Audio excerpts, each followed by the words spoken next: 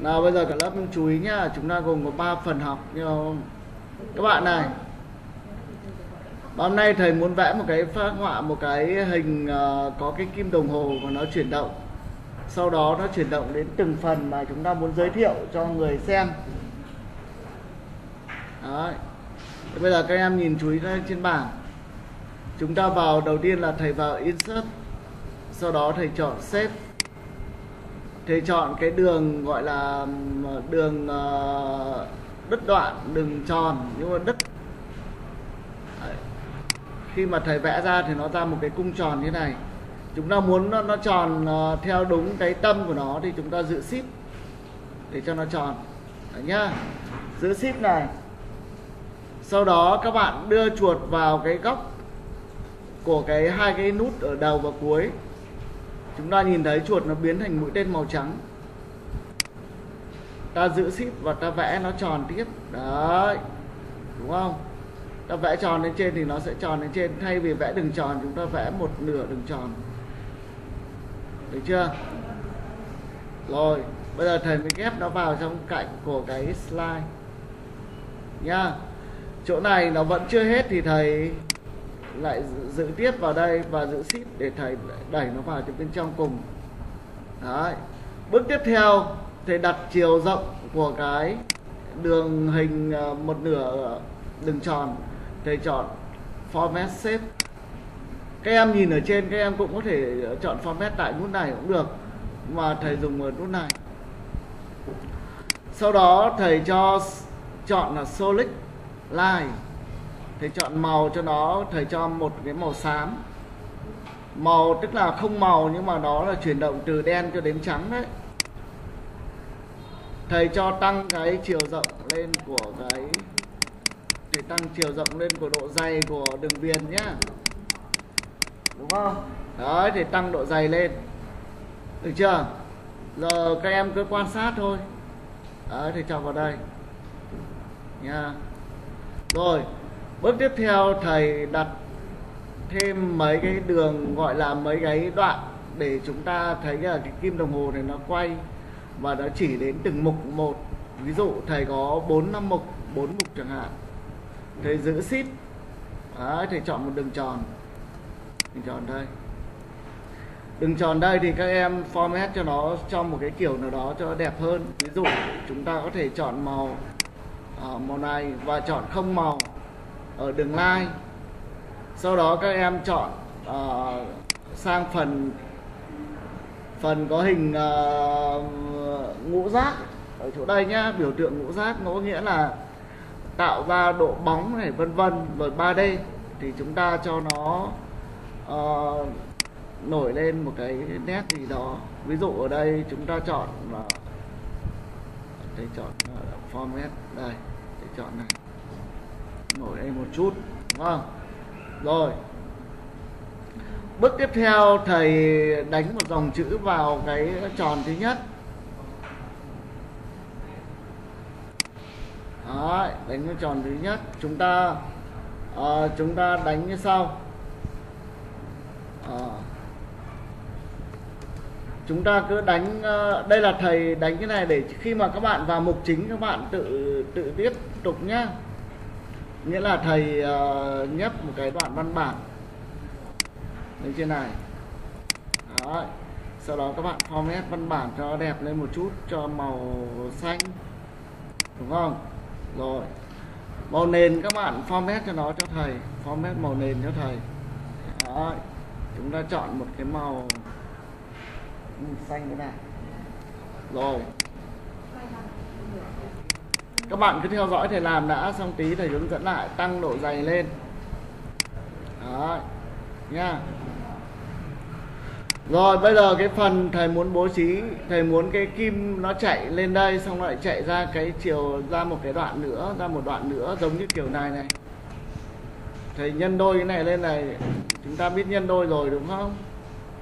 Rồi, nhân đôi tiếp, ví dụ như thế. Đây, thầy để đây cái này thể để dịch lên trên đây. Hôm nay chúng ta học một chuyển động thì chúng ta làm được nhiều chuyển động. Đó. Nhá, đặt như thế. Nghĩa là các mục chúng ta đưa vào một cái cung tròn. Trong cái cung tròn đấy thì chúng ta sẽ cho khán giả người ta xem là từng mục như thế nào. Để cái kim nó sẽ quay ra từng cái vị trí đấy. Đấy đây thế ở đây có một cái kim nó sẽ quay lên đây quay vào đây quay vào đây quay vào đây nó chỏ vào đâu thì dòng chữ được hiện ra chỗ đó.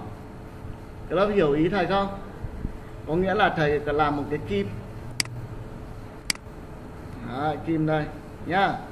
Thầy cho không đừng ờ, không no line có nghĩa là không đường viền.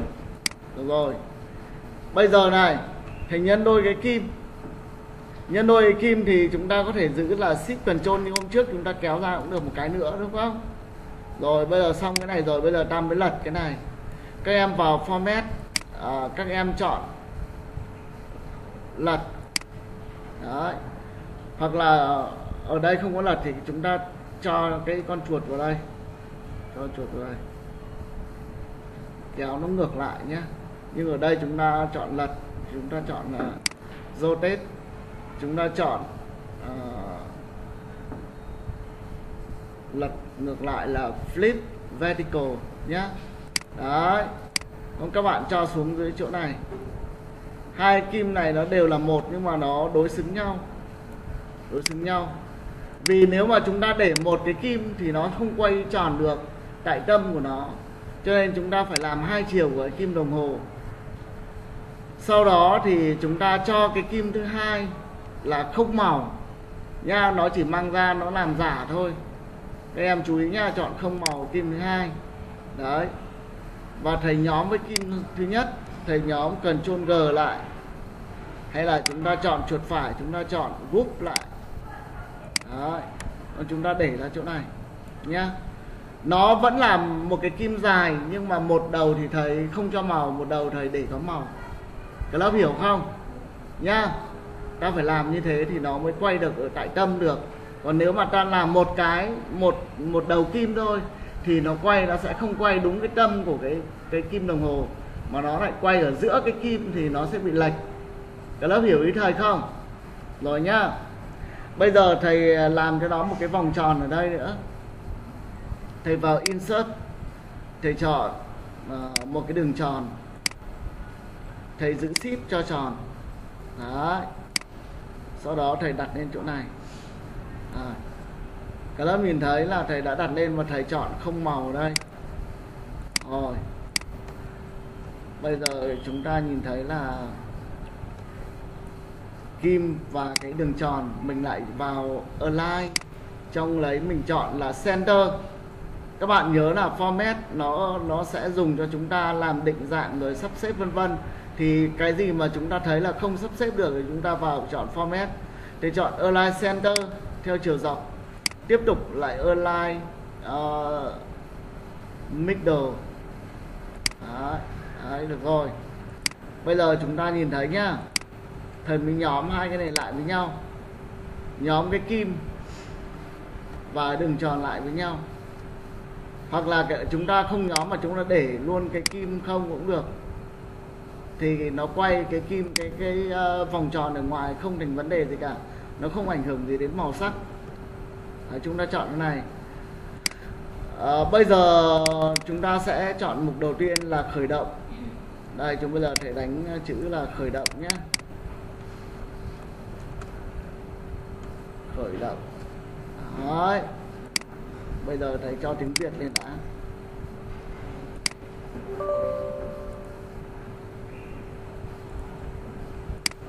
Rồi bây giờ thầy sẽ ờ, đánh dòng chữ vào đây. Là khởi động. Đấy. Xong bây giờ chỗ này gọi là uh, vượt chướng ngại vật chẳng hạn.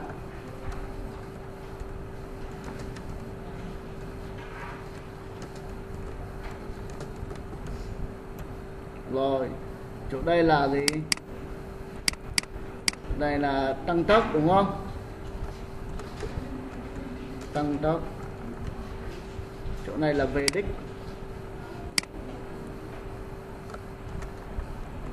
Về đích. Được chưa? Ý chúng ta sẽ làm như thế. Đó. Các bạn nhá. Đây.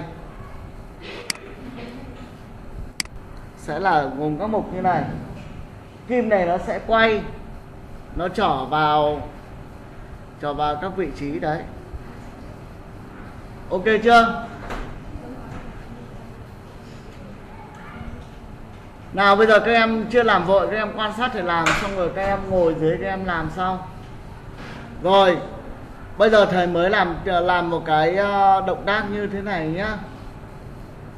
À, thầy dựng lên là như vậy để cho chúng ta hiểu là chúng ta sẽ làm một cái slide nó như vậy.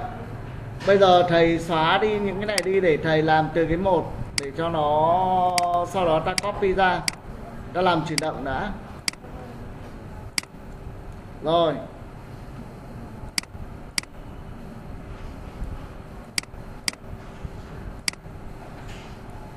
Nhá đầu tiên, thầy quay vòng tròn vào chỗ này trước đó bởi vì có một cái ờ, đầu kim kia là nó, là đầu không màu là tâm nó ở đây.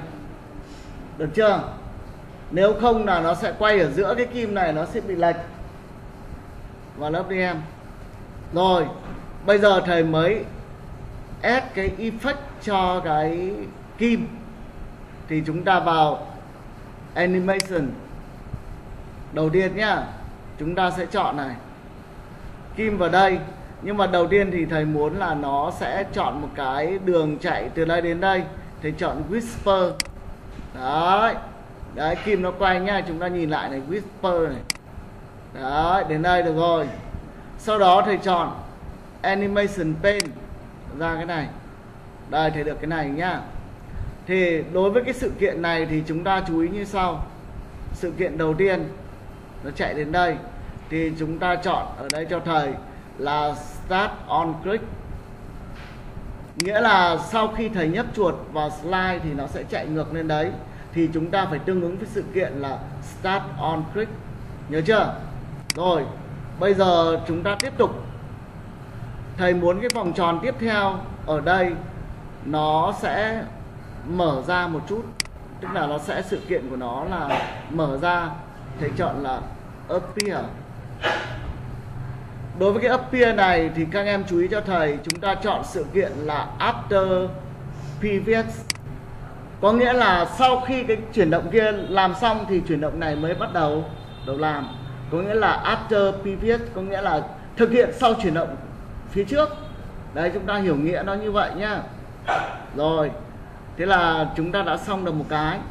Bây giờ đến chữ khởi động này, nó sẽ xuất hiện sau vòng tròn sau vùng tròn, thì thầy chọn nó là một cái ờ, gì đó nhỉ?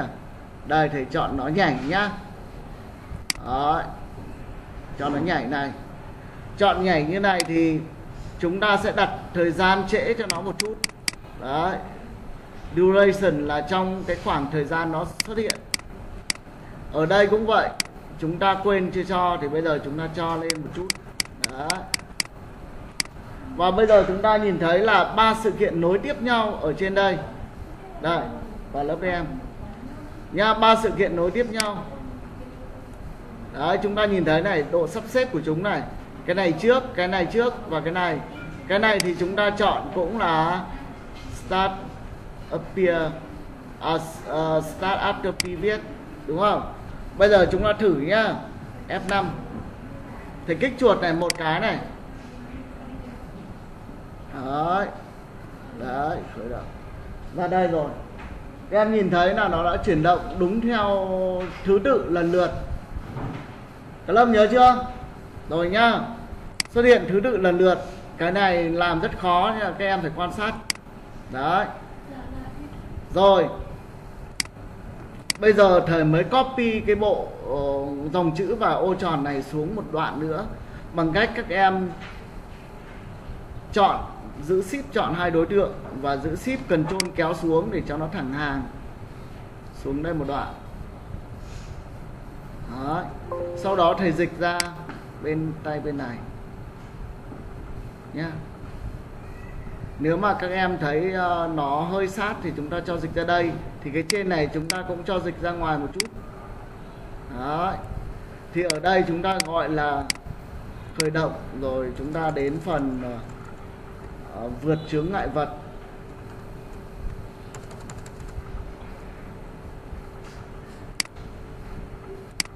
Đấy, chúng ta đã chọn đây chúng ta.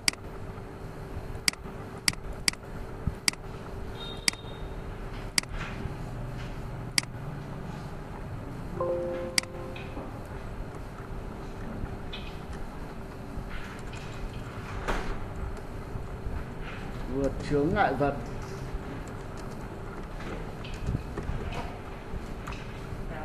Lớp đi em. Nhá. Tí nữa chúng ta sẽ cho màu nền sau. Rồi. Bây giờ chúng ta nhìn trên này. Cái sự kiện này chúng ta chúng ta thấy là nó vừa được copy ra. Vừa được copy ra gồm có hai đối tượng. Hình oval 16 đây, chúng ta nhấp vào nó hiện ra 16 này. Tiếp tục là dòng chữ này thì nó là thích box 17 này nó hiện ra như này. Rồi, bây giờ cái kim của chúng ta ở đây. Nó mới có một sự kiện là kích chuột. Bây giờ chúng ta lại vào tiếp animation cho cái kim. Được chưa? Chúng ta chọn add animation. Nhưng ở đây chúng ta không chọn cái bộ xanh mà chúng ta chọn bộ vàng. Ở đây có chữ là spin. Tiếng Anh có nghĩa là trục quay nhá.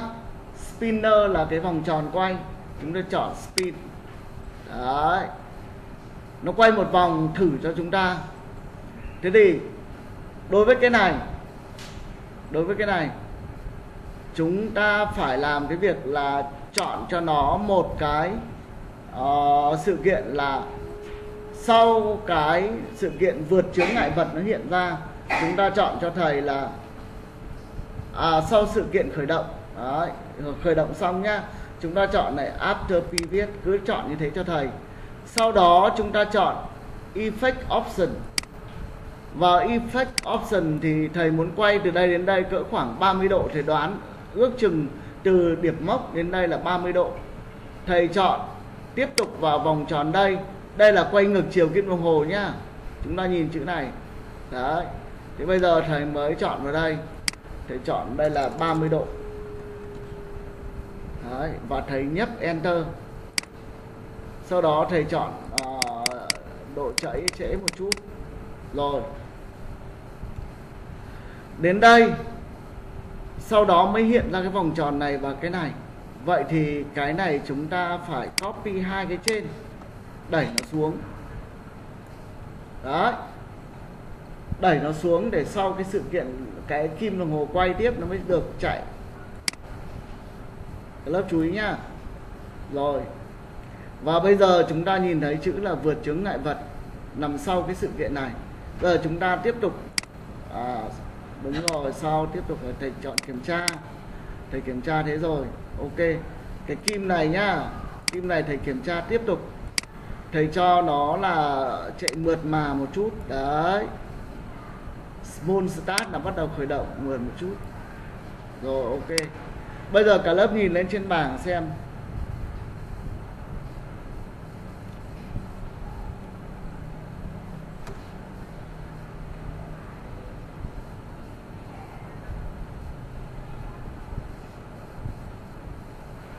Thế rồi nó quay một vòng đúng không? Một vòng vậy thì chúng ta phải điều chỉnh nó. Điều chỉnh lại thầy xem ồ, vẫn 360 độ. Đấy, thầy đánh nhập thầy phải nhập lại vào đây là 30 độ thôi. Enter. Ok. Rồi đứng đây dừng. Xong rồi. Giờ chúng ta sẽ xem lại nhé Đó.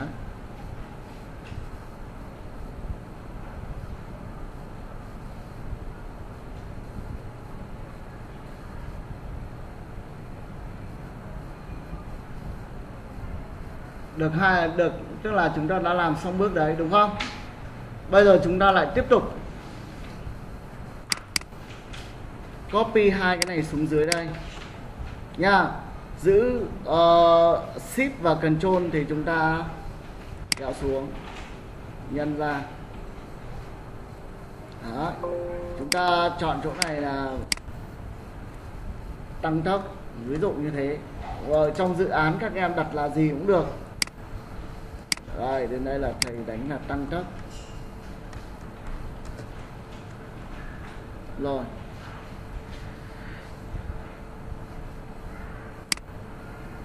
Đó, xong rồi.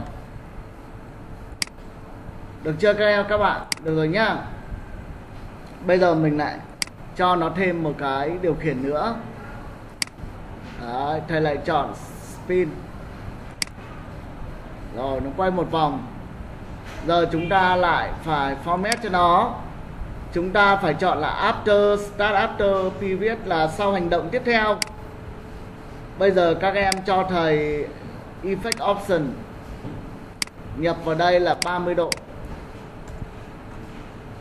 Enter. Cho nó chạy mượt một chút. Đó. rồi đến đây rồi nhá. Rồi, cái hình tăng tốc và cái này. Giờ các em kéo cả hai cái xuống dưới cái này. Kéo xuống dưới để sau cái cái vàng 14 trên hình đây. Rồi, bây giờ chúng ta thử nhá.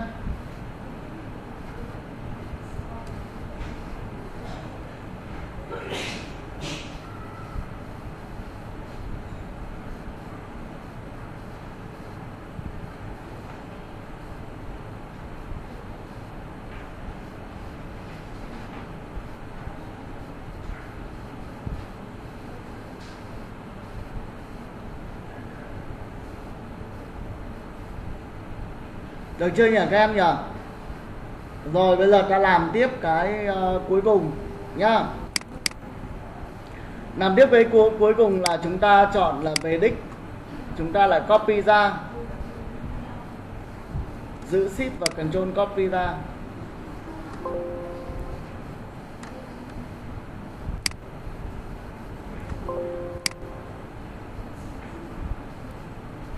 Lát nữa thì chúng ta mới trang trí cho nó, hoặc là chúng ta trang trí trước. Còn đây là thầy dạy để cho chúng ta hiểu. Đấy.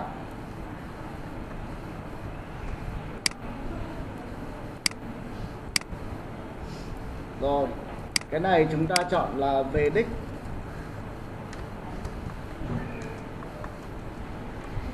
được chưa? Nào, bây giờ các em chú ý này, lại nhấp vào cái kim.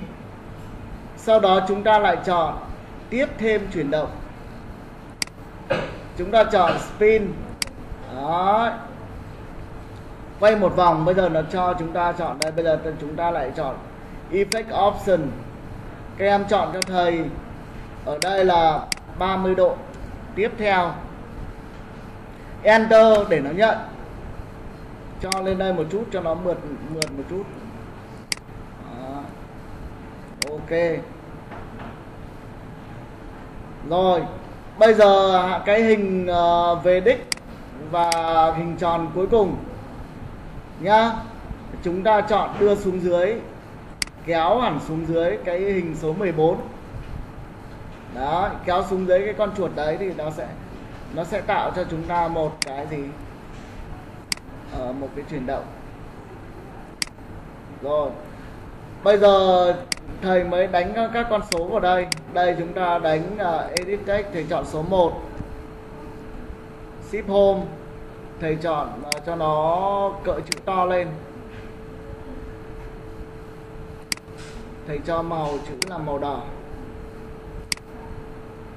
Đó rồi tiếp tục con thứ hai vòng tròn thứ hai thầy chọn edit text thầy chọn uh, ship home.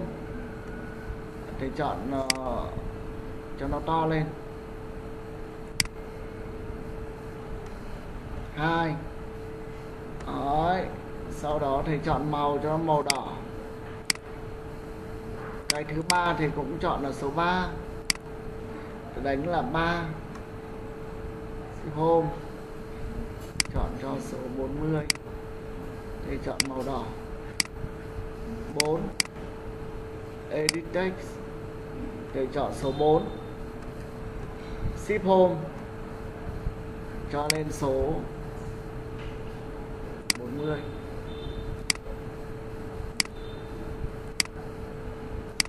rồi, bây giờ chúng ta mới phóng F5 lên. Các bạn nhìn nhá.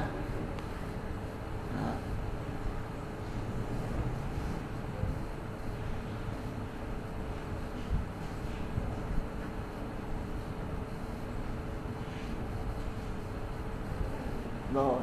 Các em làm xong bài này, các em giỏi làm được tất cả các loại bài khác.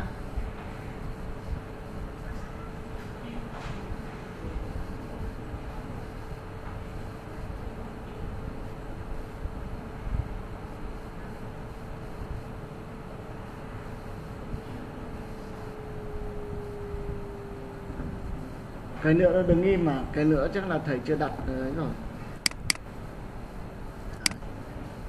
Cái nữa là chúng ta chưa đặt, đây thầy đặt này. After previous đấy, không đặt cho nên nó không chạy ra đằng này. Và bây giờ đã xong rồi, và chúng ta xem lại nhé đặt cho nó là hành động sau cái gì? Đấy, một, hành động khởi động. Kim quay xuống, hành động thứ hai vượt chướng ngại vật. Hành động thứ ba.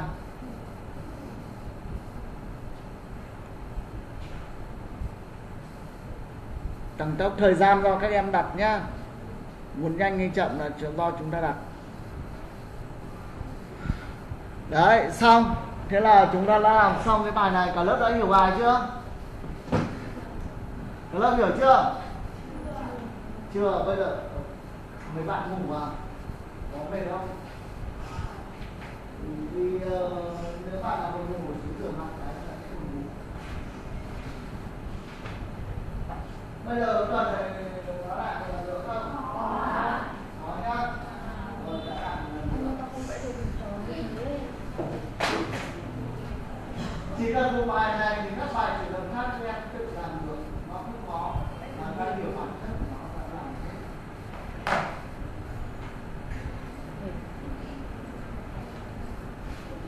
nào, bây giờ cả lớp ờ, nhìn lên bảng thầy làm lại từ đầu nhá. Quan sát kỹ một lần nữa. Rồi, bây giờ thầy xóa hết đi, hay là thầy tạo một file mới nhá. Đây. Cái ờ, bài hôm nay là bài làm chi tiết từng slide, nghĩa là bài hôm trước là làm tổng quát toàn bộ và hôm nay chi tiết thì chúng ta chi tiết chúng ta sẽ làm được nhiều cái. Nào đó các bạn nhìn vào nhá. Các bạn có thể chọn hình ở đây cũng được.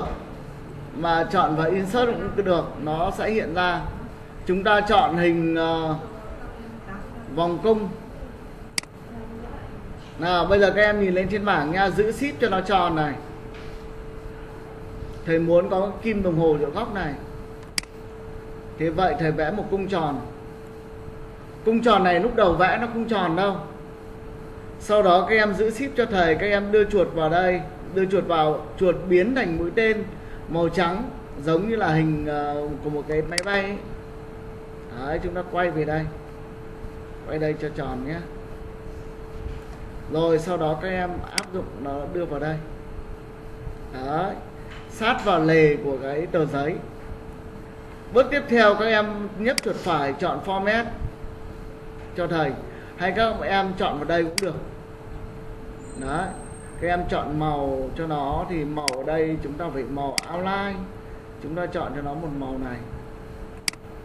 Rồi tiếp tục các em vẫn dùng cái này cũng được. Các em chọn độ dày của nó.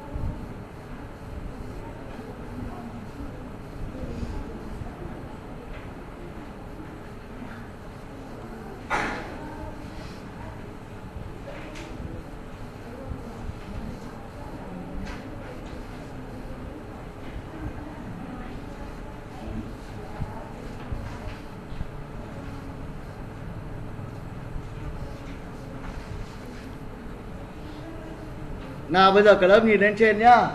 Chúng ta đã phát họa được một cái cung tròn rồi. Bây giờ các em tốt nhất là các em cứ nhất chuột phải cho thầy chọn format shape là để nó nhanh hơn.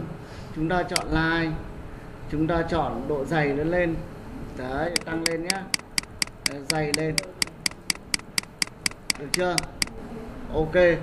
Sau đó thì các em để các em chọn này để à, tạo thành à, 3D cho thầy nó đẹp hơn một chút. Đấy.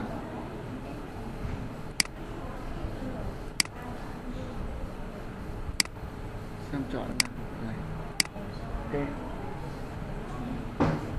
Nào, bây giờ cả lớp nhìn lên trên bảng, chúng ta format cái nền trước nhé. format nền. Chúng ta chọn ở một cái nền như này. Ok, được rồi. Đấy, các em điều chỉnh cái độ bóng, ánh sáng, vân vân bằng các con trượt này. Thích bỏ con trượt nào thì xóa con trượt đấy. Xong rồi, bây giờ chúng ta sẽ trình bày vào một cái ờ, vào đây. Chúng ta ghi là kế hoạch chẳng hạn. Kế hoạch. Xây dựng Ờ, đồ án chẳng hạn. Đấy, sau đó các em nhấp vào format text cho thầy.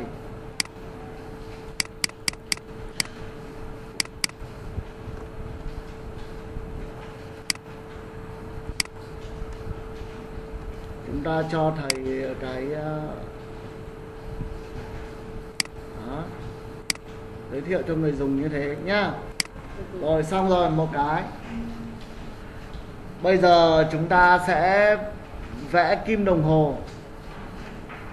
Kim đồng hồ các em vào insert. Chúng ta chọn shape chúng ta chọn cái hình mà tam giác này. Hoặc là cái kim cũng được, chọn cái gì cũng được. Ta chọn tam giác cho nó có một chiều. Đó. Nha. Chúng ta chọn màu cho nó ở đây. Chúng ta chọn màu gì cho hợp lý. Đấy tam giác thôi vẽ tam giác. Đây, bây giờ thầy chọn cho nó một màu. Màu này. Chọn là không đường viền. Đấy chọn không đường viền nhá.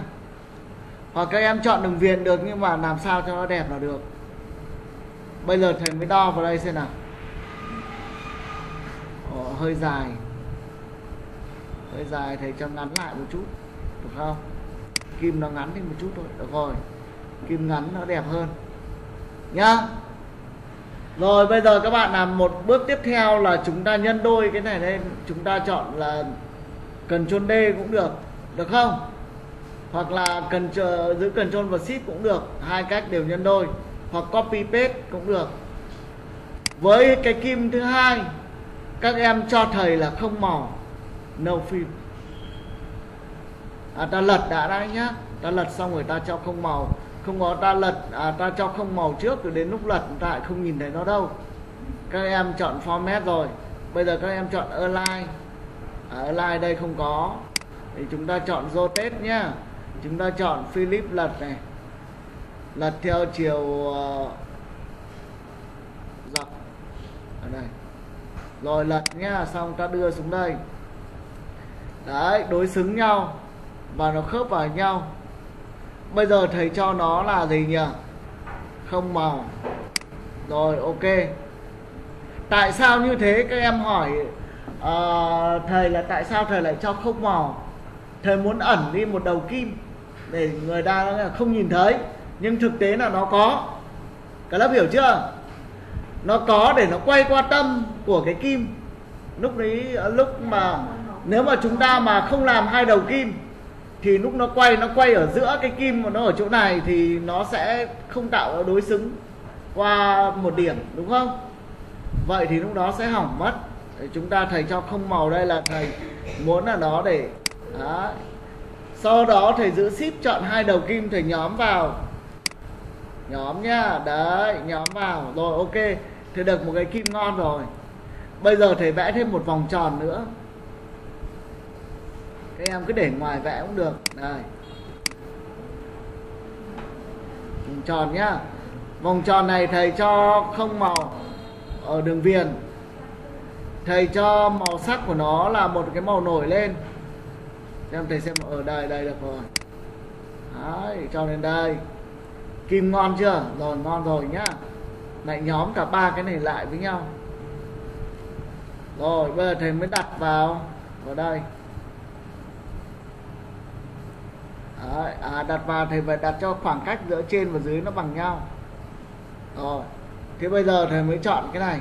Muốn cho nó bằng nhau các em chọn cả cụm này nhá. Xong chúng ta vào align chúng ta chọn center. Đấy rồi chúng ta chọn tiếp tục là center theo chiều kia nữa middle. Đấy. rồi xong rồi kim ngon rồi. Bây giờ thầy tiếp tục là vẽ thêm một cái điểm vào đây để chúng ta nhấn mạnh nó. Đấy, thầy cho màu xanh này. Rồi thầy uh, edit text thầy đánh số 1 mục 1 ship home. Đó, vào home à ấn vào home nhá chúng ta chọn cho thầy phông chữ to lên. Số 1 Đấy. Rồi ngon rồi nhá. Bây giờ chúng ta lại tiếp tục làm một cái dòng chữ đầu tiên. Đấy. Là chúng ta phải có đầu tiên là gì? À, Cơ sở xây dựng đồ án Đúng không? Cơ sở Xây dựng Đồ án. Rồi cái lớp đấy Thì đặt vào đây thầy cho to lên nhá. Thầy cho to chữ lên.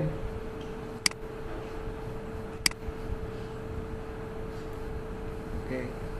Rồi bây giờ chúng ta cho màu nó chọn uh, tất cả cho màu. Chúng ta cho màu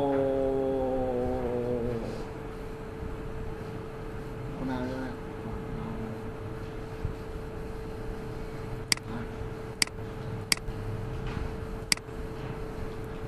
chỗ ra cho chữ ờ, đậm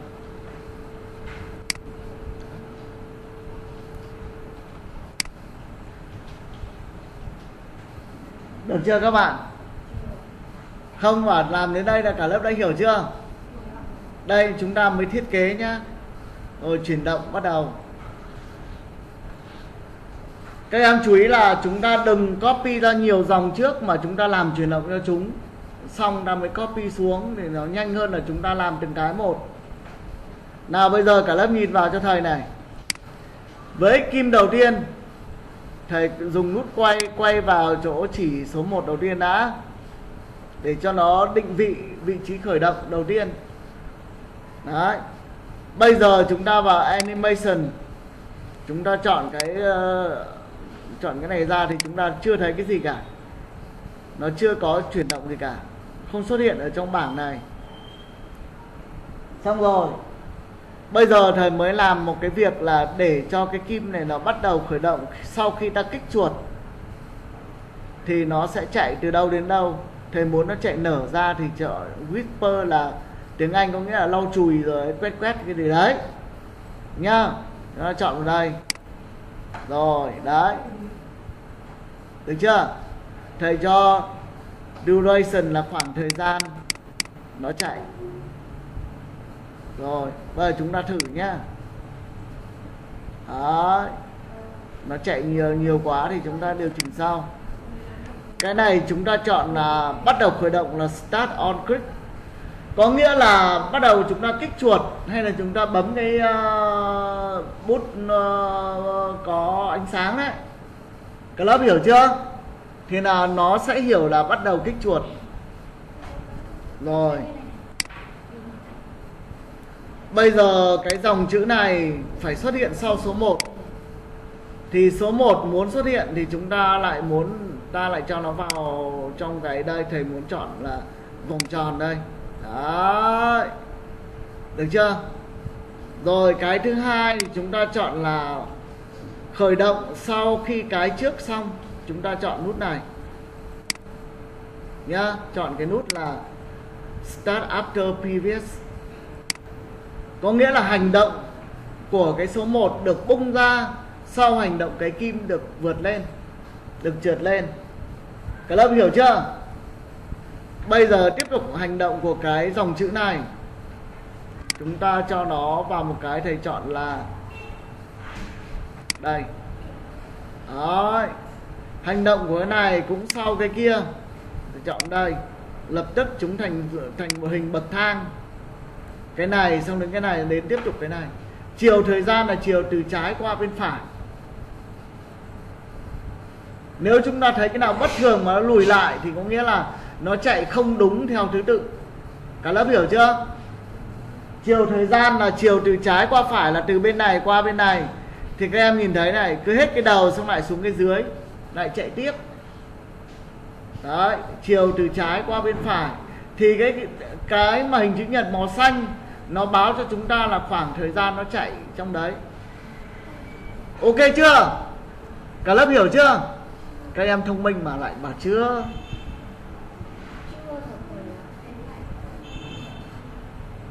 Có nghĩa là chuyển động của cái kim trước, xong chuyển động của vòng tròn số 1 sau. Tiếp theo là chuyển động của cái cơ sở đồ án. Bây giờ chúng ta nhìn F5 nhá. Thấy kích chuột. Đấy. Vòng tròn 1 là gì? Đấy. Nó phải đi lần lượt thứ tự như thế. Ngon chưa các bạn? Lại vẫn lắc đầu về nhà xem lại video của thầy 15 lần là hiểu. Rồi, bây giờ đến lượt phần tiếp theo. Thầy chọn số 2 chúng ta copy Ctrl D ra nhé đưa xuống dưới.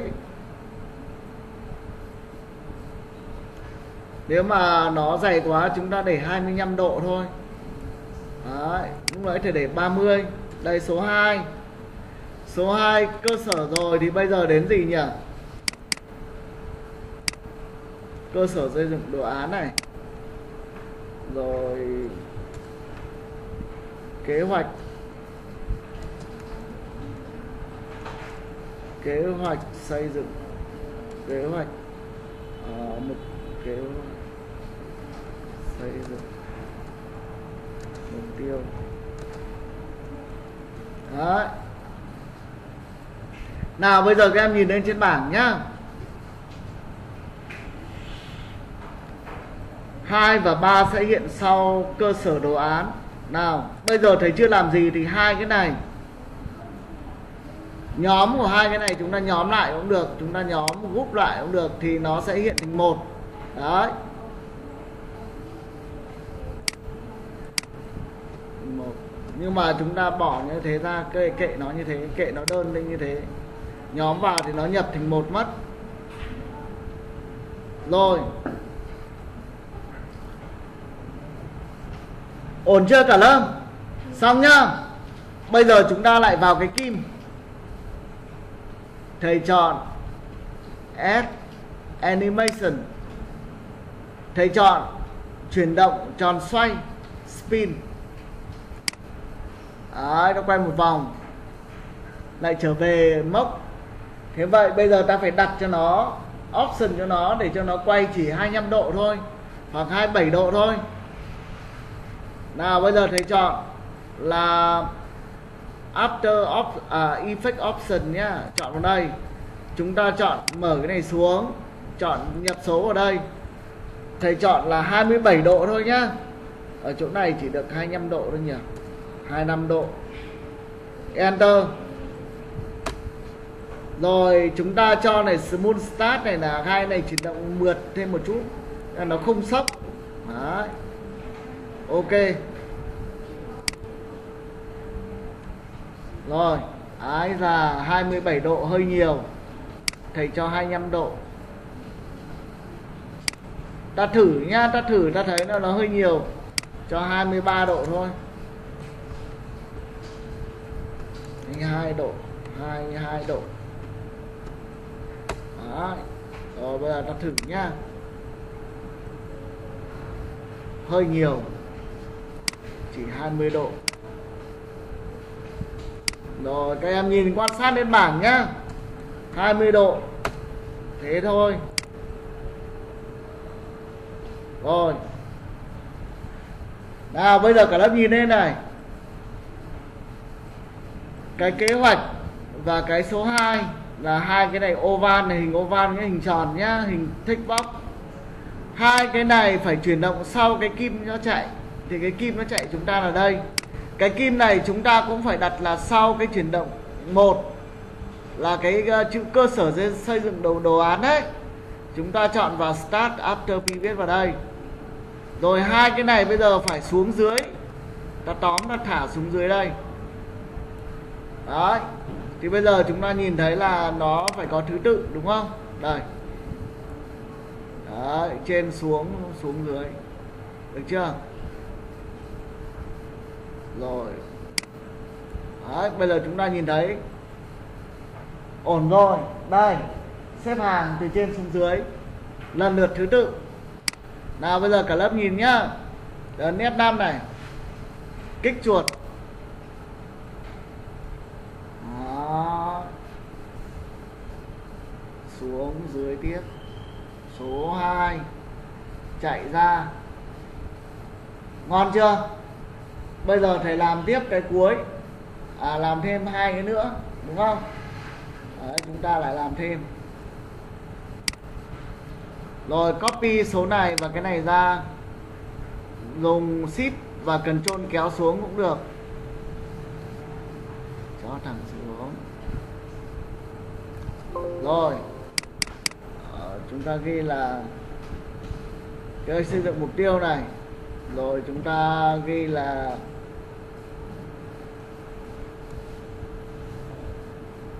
hoàn thành mục tiêu này hoàn thành.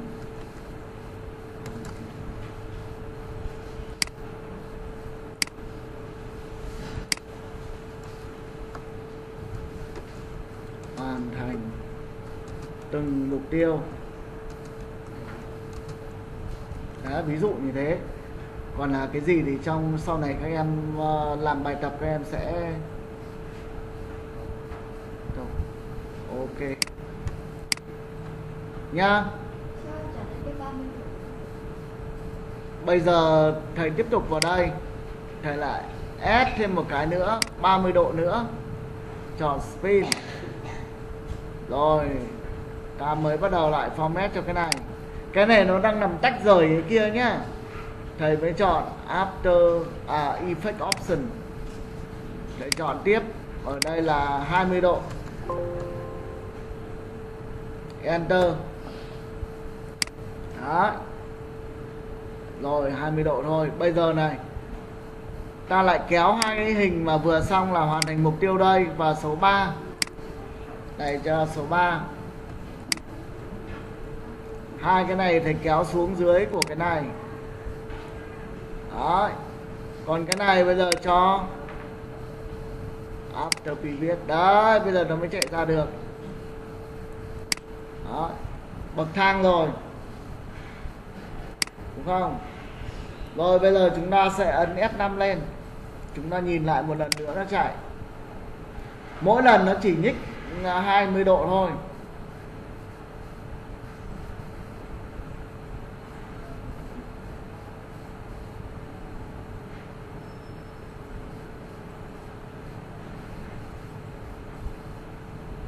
Và cuối cùng làm thêm một cái nữa là kết thúc, đúng không? Ví dụ như thế. Bây giờ chúng ta lại thầy lại copy ra.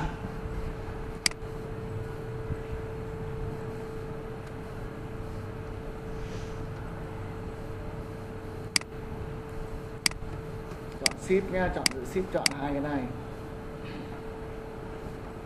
Cần chôn và ship đó hoặc chôn D cũng được chỗ này thầy điền là kết thúc số 4 là kết thúc đúng không? À, à, tổng hợp hay chúng ta ghi là tổng hợp.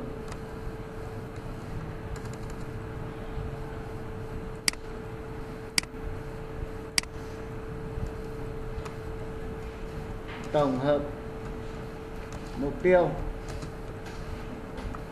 Ok chưa nhỉ? Xong rồi đúng không? Cứ để đây đã. Bây giờ chúng ta lại vào cái kim. Mỗi lần cái kim là thêm một lần chuyển động. Và mỗi cái kim chỉ làm 20 độ thôi nhá. Bây giờ, tức là tùy theo từng cái khoảng cách các em có thể 20 30 là do các em định ra góc của nó. Thầy cho dịch cái này lên trên một chút cho nó đỡ thưa. Đấy. Cái kim bây giờ thầy mới vào add animation tiếp tục thầy lại chọn đây. Ta phải chọn kim trước nhá. Sau đó chọn vào đây. Chọn vào đây. Nó quay một vòng kệ nó. Bây giờ ta mới format riêng cho nó. Đây các em thấy cái kim mà khi ta thêm vào một hiệu ứng nó sẽ không được xếp vào đây cả. Nó chưa được xếp vào. Đây chúng ta nhìn kéo rộng ra chúng ta nhìn thấy đây một mình nhóm 9 nó nằm im một chỗ. Tức là hiệu ứng của nhóm kim thứ nhất à, kim cuối cùng bây giờ thầy cho nó một cái động tác là chọn độ. À, độ quay góc quay. Thầy cho 20 enter xong ok cho nó lên một tí tí cho nó quay nó mềm. Ờ. Mềm nghĩa là tăng tốc ấy. À nó giảm tốc không phải tăng tốc. Nào bây giờ cho hai cái là tổng hợp và số 4 chọn vào đây thì trên này cũng được bôi màu màu vàng à, màu một màu hồng. Chúng ta kéo xuống thế này. Đấy, để nó xong sau đó sau đó chúng ta mới cho khởi động cái nút của cái kim là after. Tức là cái này mà nó bị bị uh, trở về ban đầu thì chúng ta lại phải chọn nút này nhá. On start on click thì nó nằm ở thẳng hàng góc đây. À, thẳng hàng theo chiều dọc ở ngay đầu. Chúng ta chọn cái này thì nó mới gắn vào đuôi cái kia. Giống như là xếp hàng ấy, các em học sinh mà chưa thẳng hàng thì nhảy tiếp vào. Đây, có ba bạn này là đang đứng lơ lửng ở ngoài hàng thì bây giờ chúng ta phải đưa nó vào trong trong hàng bằng cách là chọn là gì start up after gì nhỉ? Pivot đúng không? Đấy, bây giờ nó chui được vào vào trong hàng rồi. Đấy, nó phải có thứ tự. Rồi, bây giờ chúng ta sẽ ấn F5 bài này nghe hại hại não quá.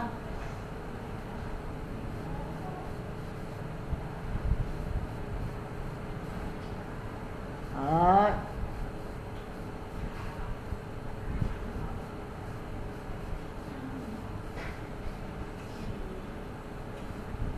rồi, thế là kết thúc bài học ờ, thầy ghi bài này vào, xong chúng ta học một, hai bài chuyển động nữa. Đây là chuyển động này thầy mới chuyển động tròn còn hai chuyển động nữa, một chuyển động chạy ngang. Nhá, chuyển dọc. Xong chưa nhỉ, cả lớp? Ok chưa?